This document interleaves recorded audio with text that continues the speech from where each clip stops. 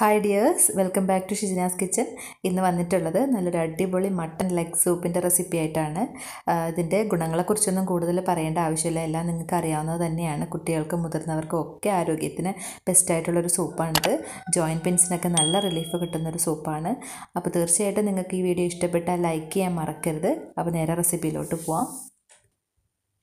ഞാനിവിടെ ഒരു കിലോ മട്ടന്റെ കാൽ എടുത്തിട്ടുണ്ട്. അപ്പോൾ ഇതുപോലെ ഒന്ന് മുറിച്ചെടുത്തിട്ടുള്ളതാണ്.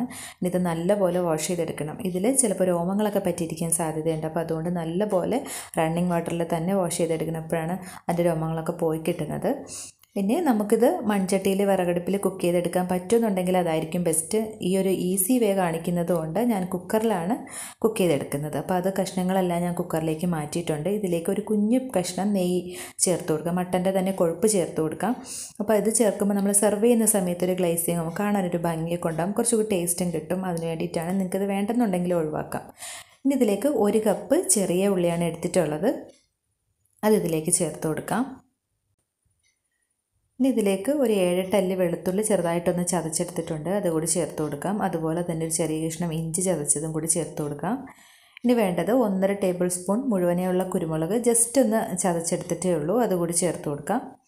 ഇനി വേണ്ടത് അര ടീസ്പൂൺ മഞ്ഞൾപ്പൊടി അര ടീസ്പൂൺ പെരിഞ്ജീരകം പൊടിച്ചത് അര ടീസ്പൂൺ ജീരകം. ജീരകം മുഴുവനേ ഉള്ളതാണെങ്കിൽ അത് ചേർത്ത് കൊടുത്താലും മതി. ഒരു പിഞ്ച് ഗരം മസാല. അത് വേണമെങ്കിൽ മാത്രം ചേർത്ത് കൊടുത്താൽ മതി. നിർബന്ധമില്ല. പിന്നെ കുറച്ച് ഉലുവ. ഉലുവ കൂടി പോവാതിരിക്കാൻ നോക്കുക. പിന്നെ കുറച്ച് ഉപ്പും കൂടി ചേർക്കാം. പിന്നെ ഇതിലേക്ക് ചേർത്ത് കൊടുക്കുന്നത് കുറച്ച് മല്ലിയിലയും കറിവേപ്പിലയും കൂടിയിട്ടാണ്. അപ്പോൾ ഇതുകൂടി ചേർത്തിട്ട് നല്ലപോലെ ഒന്ന് മിക്സ് ചെയ്ത് കൊടുത്തിട്ട് ഇതിലേക്ക് ആവശ്യത്തിനുള്ള വെള്ളം ചേർത്ത് കൊടുക്കാം. അപ്പോൾ ഞാനിവിടെ എട്ട് ഗ്ലാസ് വെള്ളമാണ് ചേർത്ത് കൊടുക്കുന്നത്. അപ്പോൾ എല്ലിന്റെ ക്വാണ്ടിറ്റിക്ക് അനുസരിച്ച് വെള്ളം ചേർത്ത് കൊടുക്കണം. ഇനി ഇത് വറ്റിച്ചിട്ട് പകുതി ക്വാണ്ടിറ്റി ആവുന്നത് വരെ നമുക്കിത് കുക്ക് ചെയ്യേണ്ടതുണ്ട്.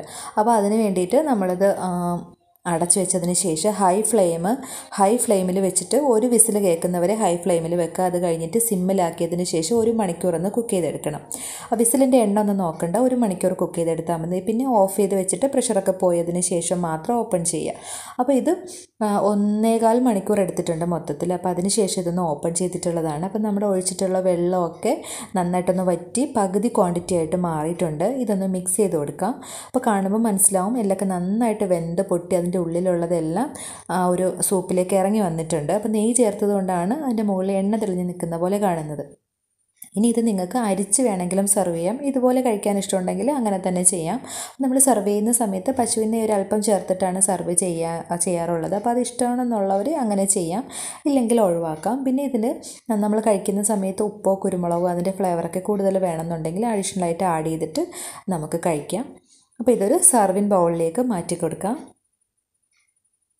അപ്പോൾ വളരെ ഹെൽത്തി ആയിട്ടുള്ള ടേസ്റ്റി ആയിട്ടുള്ള മട്ടൺ സൂപ്പ് നിങ്ങൾക്ക് ഇഷ്ടപ്പെട്ട് കാണുമെന്ന് വിചാരിക്കുന്നു. ഇഷ്ടപ്പെട്ടിട്ട് നിങ്ങൾ ഉറപ്പായിട്ടും ലൈക്ക് ചെയ്യുക. ചാനൽ സബ്സ്ക്രൈബ് ചെയ്യാതെ കാണുന്നവർ സബ്സ്ക്രൈബ് ചെയ്യുക.